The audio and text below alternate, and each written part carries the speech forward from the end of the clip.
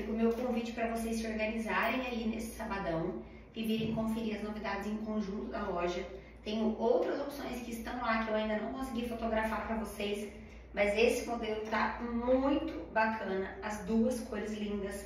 Esse aqui parece muito com o que eu peguei pra mim, que eu fui pra Nova York, que eu fiz até um aerolook com ele, nunca vou esquecer.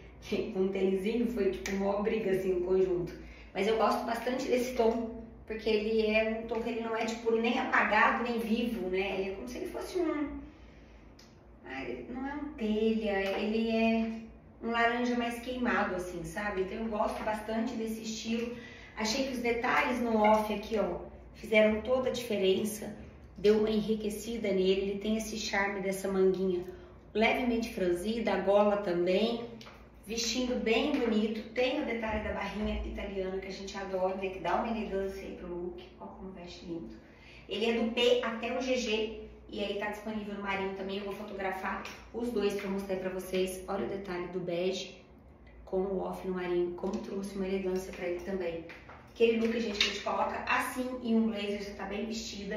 É, é naquele crepezinho, né? Uma, um crepe de poliéster que não amarrota, então é vida pro trabalho, senta, levanta, senta, levanta, tá impecável no final do dia do mesmo jeito. O detalhe dele aqui é no botão, tá? E aquele, aquele estilo também, como eu fiz numa viagem super confortável, que você coloca um tênis, uma jaqueta, um casaco, e também você tá arrumada, mas extremamente confortável, porque essa é a ideia.